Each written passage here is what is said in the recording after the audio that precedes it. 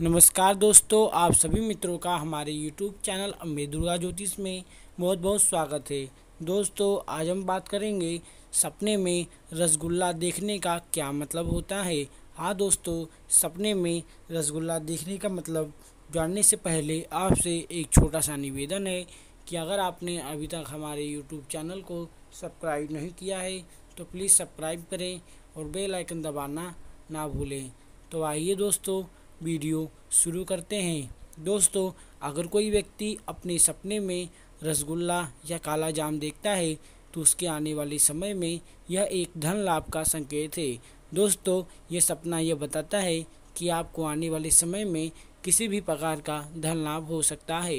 दोस्तों, ऐसे ही सपनों के बारे में जानने के लिए आप हमारे यूट्यूब चैनल को सब्सक्राइब करें और बेल आइकन दबाना ना भूलें। दोस्तों, अगर आपको हमारी वीडियो पसंद आई है तो लाइक शेयर ज़रूर करें। दोस्तों, अगर आपको कुछ सवाल है तो आप हमें कमेंट करें। हम आपको उसका रिप्लाई जल्द से जल्द देंगे। धन्यवाद। जय माता दी।